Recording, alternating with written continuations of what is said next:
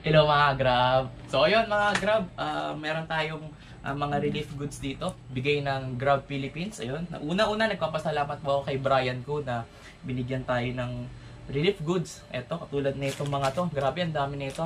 Salamat ninyo kami nakalimutan mga ah, delivery riders. Malaking pasasalamat ko sa inyo na kahit pa paano hindi nyo kami nakalimutan. So, ayun nga, binigyan tayo nito oh. Grabe, pang ano na to. Meron tayong pancit canton. Good for ano to eh. One month na ata to. Boy, pwede din na tayo bumiyahe na ito. Oh. Meron pa tayong champurado. Meron pa tayong, ayun oh, corn beef. Wow! Yan, tas meron tayong mga hamon. Oy, salamat ah. Sir Brian, meron tayong ganito oh.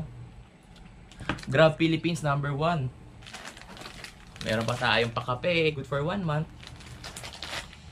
Siyempre, sakto mag-birthday yung misis ko oh.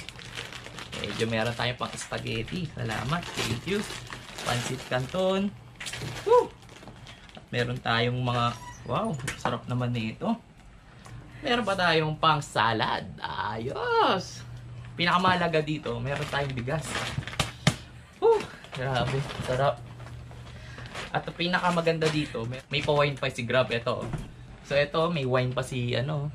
Mamaya inumin natin to. Inumin natin to mga ka-Grab. Grabe, salamat. Maraming salamat po sa inyo. Grabe. Thank you, Grab. Thank you. Grab. Thank you, Grab. Salamat. Salamat, Grab. Grabe. Aray ko, Hoy, puta. negro! Lasing ka na naman! Ah, puta, panaginip lang pala.